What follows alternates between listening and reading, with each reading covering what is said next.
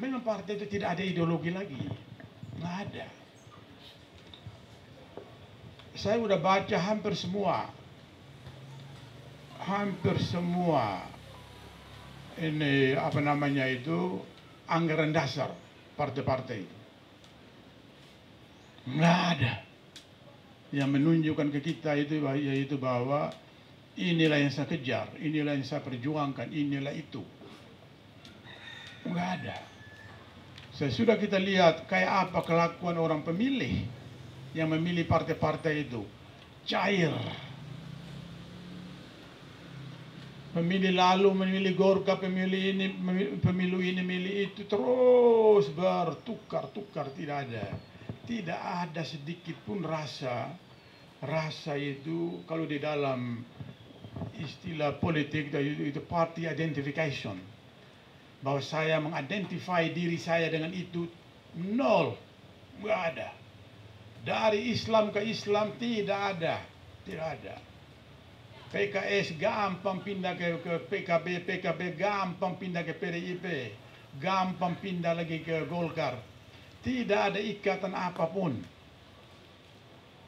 Nah karena itu nah yang begini-begini aja kan sudah sudah menjadi tantangan tapi tantangannya itu bukan kembalikan partai menganut Marxisme, menganut, bukan bukan itu maksudnya.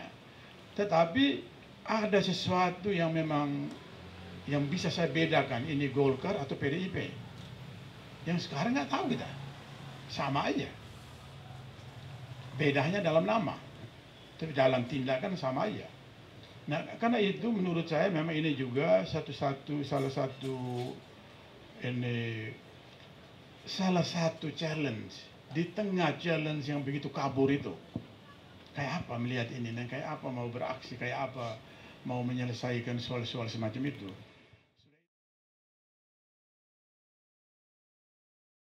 Jangan kita menunggu contoh. Wah ada contoh itu. Jangan kita menunggu contoh seorang demokrat. Nggak ada kita sendiri yang harus menunjukkan apa itu demokrat, demo, menjadi demokrat. Apa menjadi seorang ini pembela hak asasi dan seterusnya. Jangan tunggu contoh kan tidak ada contoh itu.